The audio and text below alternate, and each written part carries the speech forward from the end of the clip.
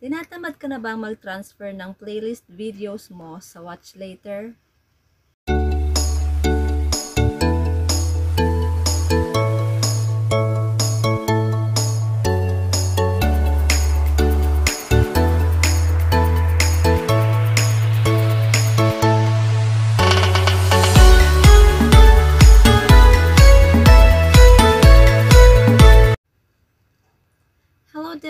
Beautiful people! Welcome back to my channel.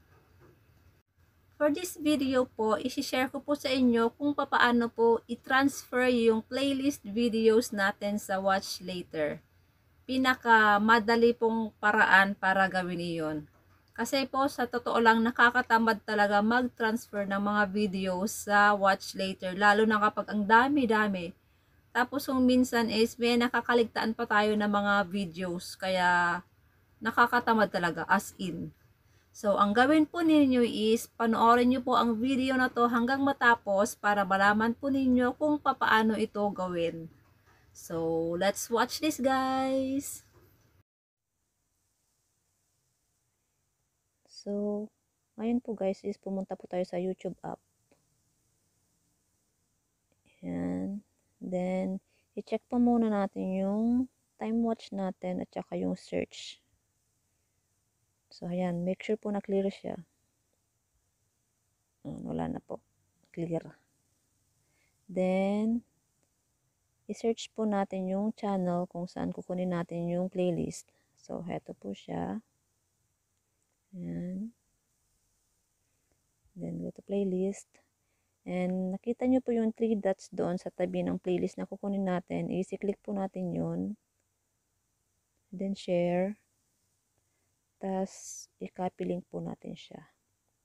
Ayan, copied na po siya. So, uh, iwan po muna natin tong YT app natin. Then, pumunta po tayo sa Google Chrome. Ayan. So, type po natin yung youtube.com.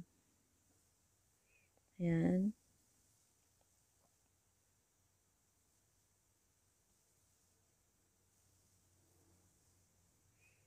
So, heto na po siya. And here po guys is make sure po na yung na, uh, account na nakasign in sa YT Studio nyo is same po sa YT app ninyo. Ayan.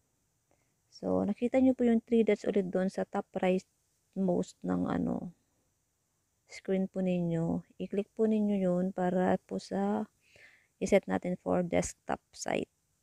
Ayan. So, nakaset na po siya sa desktop. And then, doon po sa search tab, i-paste po natin yung link kanina na kinapi natin. Then, go.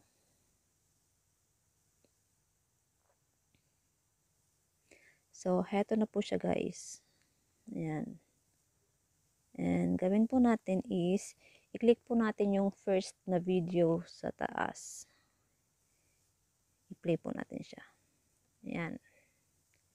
Naka-play na po siya. So, ang next na gawin natin is, kita nyo po yung mga videos sa baba. O, ito po yung mga ano, ito, ito po yung playlist natin. Yan. And then, dito sa baba naman, meron dito mga videos sa, uh, ibang videos ni Miss Ami kasi siya yung unang ano video. I eh, ano po, i-click natin ulit yung 3 dots sa tabi. And then, i-add queue po natin siya. Ayan, naka-add na po siya. Then, bumalik po tayo sa taas para mag-appear po yung plus save doon. Kita nyo po yun, yung plus save. Then, i-click po natin yung plus save. Ayun. Then, click the box. Watch later. So, ayan po, added na po siya sa watch later. So, leave po natin tong YT Studio. Then, i-check po natin sa YouTube app. So, punta po tayo sa library. Then, i-refresh lang po natin siya. Ayan, nandyan na po sa history natin yung, ano, playlist. So, heto na po siya guys. Ayan. So, nakikita po ninyo is 80 videos na po siya kasi naisali po siya yung in-add queue, in queue po natin kanina. So, kailangan po natin tanggalin yun sa pinakababa.